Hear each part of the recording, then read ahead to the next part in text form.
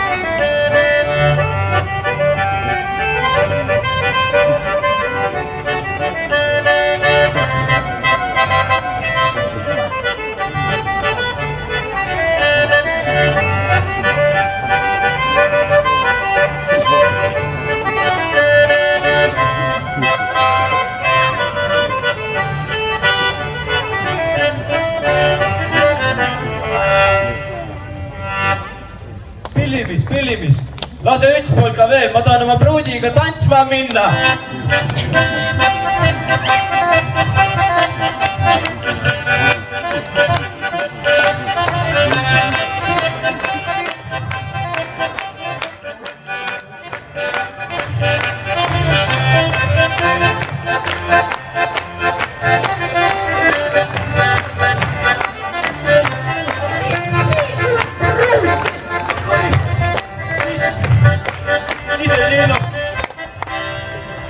Iseennist nii ilusasti kõne, kõnelite.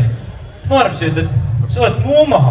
paljugi, mis sa arvasid, ära aja, ärge ajagu käsi kauem-vahe kui käusse ulatase. vanaisa ütle lihtsalt, ega ütle enam peab mõnikord vihma kah sadama. ma sai siis õkku oma sopsahtuse kätte. ma tõttesti mõtlen, et peale üleminevast suve ja minevast suve, et sa oled siin mu pruut või nii või mi vahel on midagi. ongi ju, ma võin õkku sulle ütelda, mis mi vaihel on. su ja mu vaihel on folkloorifestival. sa ka, mi oleme nagu Koit ja Hämarik. trehvime enne kõrre aastal, ta on Võropido peal. aga meil on rohkem Japanu. Koit ja Hämarik saavad kuun olla üte öö. aga mi, X viis päiva ja õkva homokostüümi välja. viimasel päeval sirrami vähe, läbi lakki ja terve aasta oodame ja tuleva suve trehvime jälle. on ja illas. on jah ilus sa, mulle see lugu X-is meeldib. ma tahaks, et sa oled siin mu pruut või kohe sul nii kipe on. Õnnes siis on hääd munki vaja, kui kirpu püüad. tõsiasjaga omaigu. Kaimini tassakõiste, vist on pidopäev sünnus ja perenam näete, mis millust sa.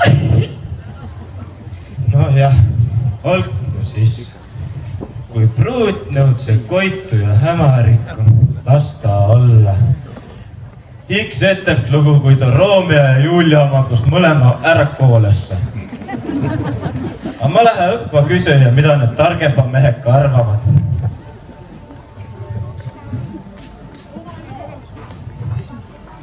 oma loo toob teieni folklooriline La Montagnees Prantsusmaalt